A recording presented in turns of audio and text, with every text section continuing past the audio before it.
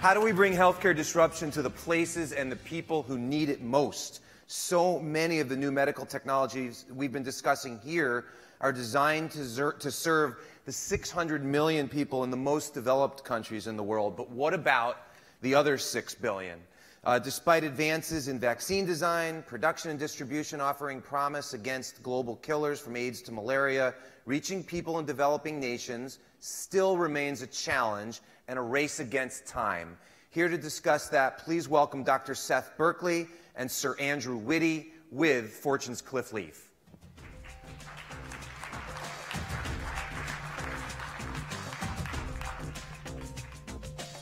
Someone just say a call to action? I love a call to action. So, we are in beautiful paradise here in, uh, in this extraordinary redoubt in, in San Diego. Um, and you know, we are the well taken care of in the world. Uh, we have the luxury of talking about disruption um, in, in, this, in this space. Uh, many people do not, and we would love to talk. We are privileged to have two people who have explored, uh, not only explored, but actually brought um, health innovation, disruption, and, and true care uh, to that other six billion that we're talking about. Uh, one of them, Seth Berkley, has done it with a, uh, a essentially not-for-profit uh, consortium with, with public-private partnership, sorry, um, called Gavi, and the other, uh, Sir Andrew Witty, has, has done it through GSK and uh, a public company, and ch- really changed the business model of that company. So. Um, so the first thing I think would be important, let's just talk about Gavi for a second. What, what, explain to people what the business model is, because it's so interesting. So vaccines are, of course, one of the most powerful health technologies. And the challenge was we were innovating in vaccines, and they were going to wealthy populations, but weren't getting to the developing world where they were needed arguably even more. So Gavi was born as a public-private partnership at the, World Economic Forum in 2000. And what it does is it works with the poorest countries in the world, the 73 poorest countries, by metrics, so anything below a certain GNI. And what we do is we subsidize their vaccine purchases. But everybody pays something, which is one of the innovations. So if you're very poor, you pay 20 cents a dose. Why is that? It's not so much for the cost, it's to build you know, a sense of payment to build a line item in the Ministry of Finance. And then as the country gets wealthier, it pays more until eventually it crosses a threshold, and then um, within five years, it's fully self-financing. So you know, that's one part of it. The second part of it is the, is the market shaping. We purchase vaccines for 60% of the world's kids. And as a result, we've been able to work with companies. I mean, we'll hear from GSK in a second, but we buy more than 70 million doses of vaccine a year from them and from other companies as well. And with that, we've been able to reduce the price point, but also bring new manufacturers into the market. That's been very important because what we want is a healthy marketplace with innovation going on, but we also want to make sure that prices prices do come down because it's so sensitive to countries being able to support that in the future. And lastly, we've innovated in, in using private sector mechanisms for delivery. Vaccines don't deliver themselves, so we spend 20 to 25 percent of our finance on strengthening health systems, building better data systems, building better supply chains, you know, bringing technology on refrigerators, et cetera, but also working, for example, in the, in the marketplace, we have a, a, a way that you can monetize commitments commitments by donors, something called IFM, where we use capital markets to be able to take those commitments and bring that money out any time. So lots of innovation in different areas using the private sector to move things forward. And Andrew, your, your company, GSK, GlaxoSmithKline, um, has, has borrowed that same innovation, or at least come up with it on your own, about you know the importance of charging for these vaccines, and which, which is largely what you, you sell. Um, and India, for example, is about 30% of your product? So India, for our total company, about a third of everything we sell in the world, we sell in India. Yeah. Um, which I think most people are quite shocked by because the assumption is that Western drug companies can't compete in emerging markets, you can't compete at Indian cost of goods. We manufacture most of what we sell in India in India, so you're naturally hedged against the kind of cost structure of that economy. But the reality is that you can deliver that kind of volume. As an organization, we're essentially made up of about 55% pharmaceuticals and the rest split evenly between vaccine and, and consumer health by revenue. By volumes, the volumes are by far skewed toward the vaccine and the consumer health business. So actually, as a business, probably half our products sell for less than $10. And if you think about a vaccine, it's $10 that protects you for your whole life, which is a, a very kind of different kind of dynamic to some of the assumption of what pharmaceutical industry is about. You know, we heard this morning people talking about $100,000 for an extra month of life, which is true in certain circumstances and is valuable in certain circumstances, but it's not the whole story. And for us, we've got a kind of blend of those different businesses. But it's important because you have told me in the past that you make a a, a, profit, a tiny profit in every market that you're in, yeah. and why that's so critical. I mean, you are a public company, and I think yeah. that's uh, certainly there's pressure from shareholders to earn more of a profit, but just the fact that you do earn that profit is, is part right. of the model. Yeah, so, so I think there's no sustainability in doing things at a loss. And, and I think it, while donations are are terrific in a very short-term acute situation, it's not sustainable either because it's, it's, a loss, right? So you have to find a business model where everything you do within it at least covers your marginal costs. There are certain parts of our business where we, we would not necessarily be contributing towards our fixed costs as an organization, but you know, within the overall piece, it's adding to the returns of the company broadly speaking, the way we've tried to structure our, particularly for vaccines, is GNI per capita across the world. So we rank, literally rank order uh, the world by GNI per capita, and we drive our prices accordingly. We think Just that's like Seth and right. And then yeah. Gavi essentially sits at the bottom because Gavi represents the poorest countries. It's at the very bottom of that tier, and so Gavi gets the best price in the world essentially. Uh, what that's allowed us to do is then to build. The thing you have to remember about vaccines is it takes a long while to discover a vaccine. My God, it takes a long while to build a factory to make the vaccines. Mm. So actually, when you look at the capital base required, you need certainty of volume. So one of the things that's worked very well with Gavi is market shaping, advanced market commitments, so-called, in an area, for example, pneumococcal vaccine. So Gavi decided, or the funders of Gavi decided this was a priority area. Gavi signaled to the marketplace, to people like us, if you're prepared to build capacity, there is essentially a guaranteed volume at a certain price, a low price, but a certain price. We then went forward, spent 10 years building a facility. We spent 600 million Singapore dollars building that facility in Singapore. It came on stream. It supplies vaccine to Gavi, and it's contributing to the first drop in childhood mortality in sub-Saharan Africa because for the first time those children are being vaccinated against lethal diseases and you start to see hospitals being vacated from sick kids. They can now treat different types of patients, maybe adults with more NCD type disease. That's the model which Gavi has helped to facilitate, but it needed companies like GSK to be prepared to engage in it. And Seth, yeah. Yeah, let me just add a little bit yeah. to, to that model because, you know, that's exactly what we were trying to do, this type of partnership, because as we drive up the volumes, it also drives down the COGS. And, and as Andrew said, if we don't amortize research costs onto the Gavi market, the price point can be quite good.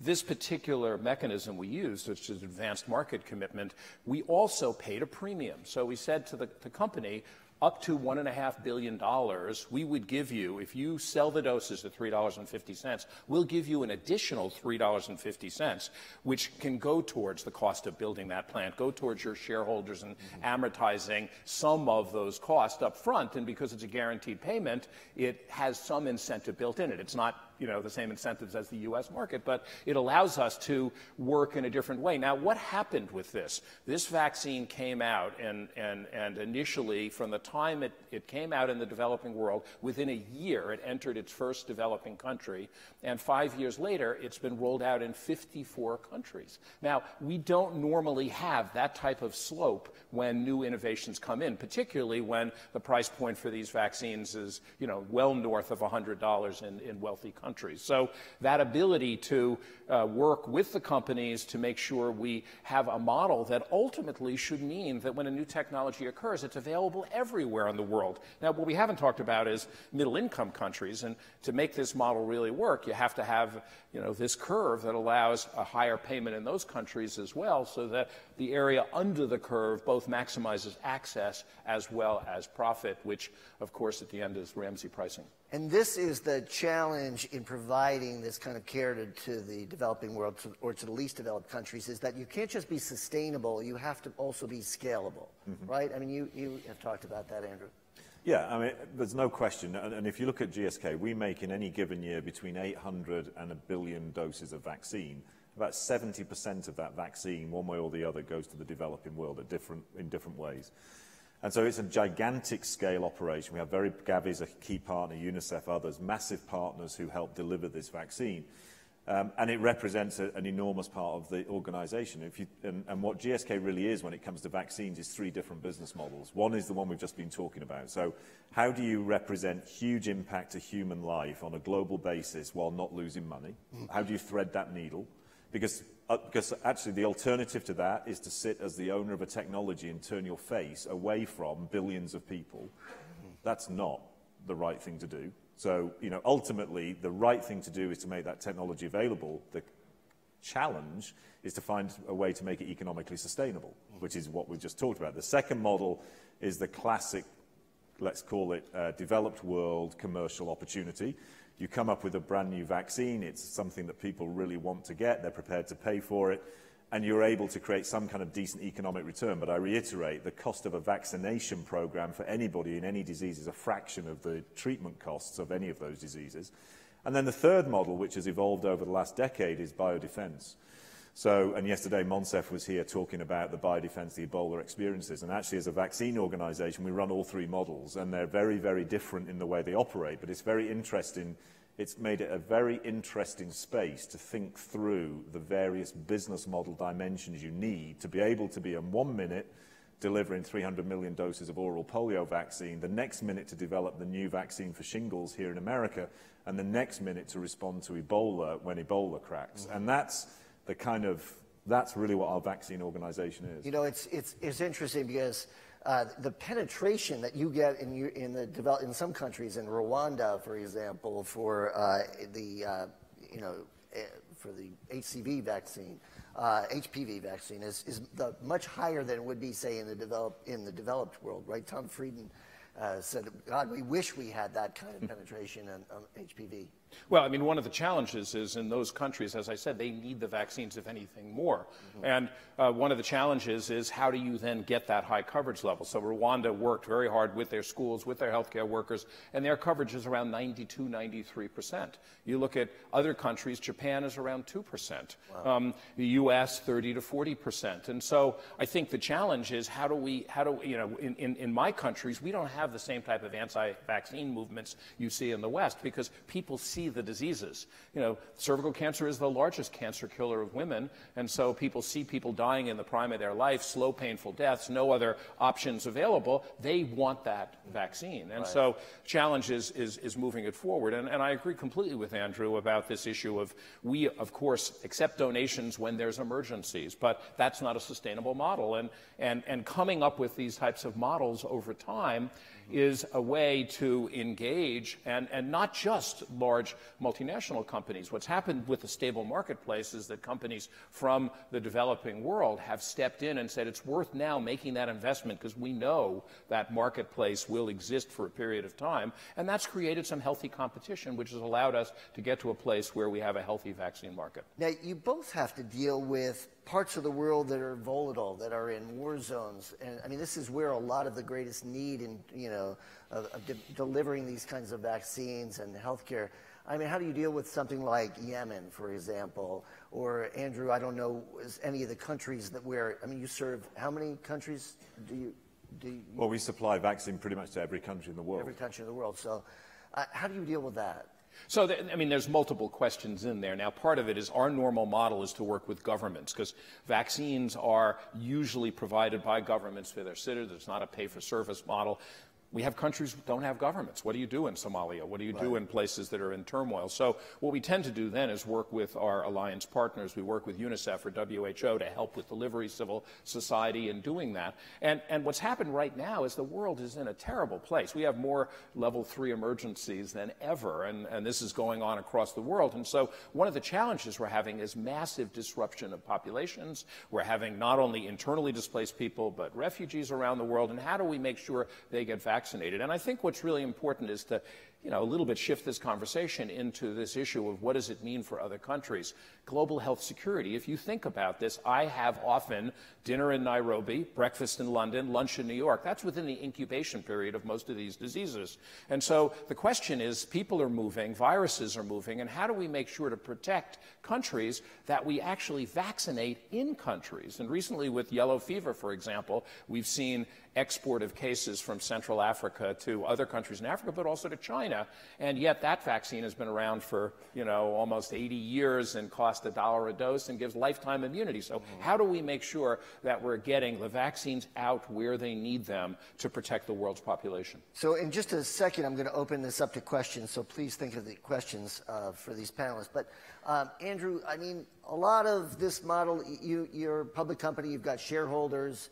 Uh, what's it like to tell this message of, hey, we can do this in the three different business models and they're synergistic and we make money, uh, but they're saying, well, why don't you give me the next, you know, you know, blowout uh, oncology drug that I, you can charge an arm and a leg for? Well, I think um, our conversation with shareholders is much more around how do we manage to create a decent return across the whole portfolio of the business over multiple years. The, the irony of the, of the tension that, in fact, the panel this morning was talking about, the irony of that tension is everybody's become very fixated on very short-term returns, price, in a year, But in fact, you think about our business. In the pharmaceutical business, a typical drug development program probably takes 20 years, and the product has a 10 to 12 year patent life on the market. So you're talking about a 30 year cycle. Fa- uh, vaccines, at least 30 years, right? Mm. So we, we sit looking at those situations. We then fixate on these incredibly short term metrics of value from a shareholder perspective, when in fact the key is what is the return curve over the whole 30 year period? The minute you start to think about returns, you start to increase the solution space because instead of just talking about price, you're talking about volumes, you're talking about time, the value of time in all of this dynamic. And if you think about volumes, how do you create volume? Then you have to start accessing the 6 billion and not just fixate on the 600. And Steve Miller was right this morning. There's no question. The US is over subsidizing the world system. How do we take the pressure off? We think through these graduated GNI per capita uh, curves across the world very transparently, we are super upfront with countries around this is why we set the price at this level, because right. we think you're sat here on the income curve. It's not always a simple conversation, but it's a very, it's a very upfront conversation. And actually, what that means is because you've got huge 300 million people every couple of years entering the world healthcare market, they're not coming in at US price points, but they're coming in at a price point. Mm-hmm. 10 years from now, they'll have gone up a price point. And gradually, you start to see the pressure being shared a little bit across the world markets. That's, what the, that's our model. Now, the minute somebody like me is defending the economic returns in a quarter or a year on a business with a 30-year investment cycle, you're done. I mean, that's a ridiculous conversation because we don't, I don't make any decisions which are essentially a year long. I can tell you, the first CapEx decision I took was to build a new vaccine factory to make pertussis vaccine. I made that decision in 2008. The construction just finished, and it will take two years to validate with the regulators, and the first batch will come out at the end of 2019. Can you imagine making a decision you know, in a short time frame when that's just your capital build? Right. Yeah. The world's first malaria vaccine was begun in development in 1982 and registered in 2015. right? And that wasn't because we were slow or stupid. It's because it's super difficult and takes a long time to do these things. All right, I just, I just want to grab a question from the audience because we only have a few minutes left. We've got one over there, and then um, maybe for, for Seth. Smith. Ken Smith at the University of Utah. Uh, I'm just curious, given uh, the tremendous work that you're doing and the, the, uh, the countries that you're that you're, uh, you're addressing their problems, these very poor countries. What is the, what is the interaction or the coordination with respect to uh, one of the drivers of the, of the poverty that you see in these countries, which is simple family size and, and, and the issue of family planning, and you, you, have, you have a presence there. And so how does that coordination uh, take place with your, with your penetration around, around the globe? I, will maybe make a very quick comment, but Seth will be much more um, thoughtful on this. I think at the very core of this, before we get into conversations of family planning, I think, frankly, families need to believe that their children are going to survive. And, you know, as, as Seth has done, as I've done, you spend time in, in for example, Somalian refugee camps, and, and, you, and you sit with mothers who have buried all three, or three of the four children she had before she was 22. And, you know, her, and she lives in, I'm not even going to say a hut. Uh, you know, she lives in a shelter which has zero man-made material in it. Zero. Everything is literally gathered from the dust. Until you can change her prospects for how long her surviving child will survive or how long the next child will survive, the rest of that conversation is academic. But that's why fundamental engagement in vaccination, in child health, in maternal mortality, all of these, I think, are absolute precursors. Once you start to make, once you start to build that confidence, then all the other issues, all the other levers that you have to pull become critical. But we've got to, if you, you know, if you can't change that mother's confidence, you're, you're, you're literally running backwards all the time. Okay, and, and, this is why we're, we're so, it's so critical. Today, we have the highest vaccine coverage ever in history. We have 86% of the kids covered with the basic vaccines. Um, but that still means that 14% are not. And so one of our challenges is how do we reach out to that 14%? And when we do that, we bring not just a vaccine, we bring a health worker, we bring a supply chain, we bring a data system, and that is what is going to be used for other interventions as well. Melinda Gates is very uh, keen to work on the problem you talk about, and her focus is on people who want contraception and don't have access and trying to reach that group of people. But as Andrew has said, as long as they think their, their children are going to die, they're going to continue to want to have large family sizes, and that's the first thing we have to stop. What we saw with the panel earlier about the you know, the rise of pandemics and the, the, the, sheer certainty of them. They don't recognize borders. The six billion people that we are talking about, the diseases that affect them ultimately will affect yeah. those here. Uh, we've got 30 seconds left. Who wants to grab some comment about that? Well, go ahead. Go ahead. I, I was going to say. I mean, you know, we, we talked yesterday about diseases like Ebola. There's a whole range of diseases like that, and what we have to make sure is this is not a charity. What are the incentives in place to get the best technology, the best companies, not just large companies, but uh, biotech companies, academic institutions, to be prepared to step in and bring science and technology to solve these problems? I'm a great believer in science. It can solve this problem, but to do it, we have to have an set of incentives in place that will allow that to happen with proper speed and engagement, and that's what Moncef talked a little bit about yesterday with this new project CEPI. So that is our call to arms for digital health to, to attack this issue. I want to thank my great panelists, Seth Berkley and Andrew Witty. Thank, thank you, you so much. much. Thank you.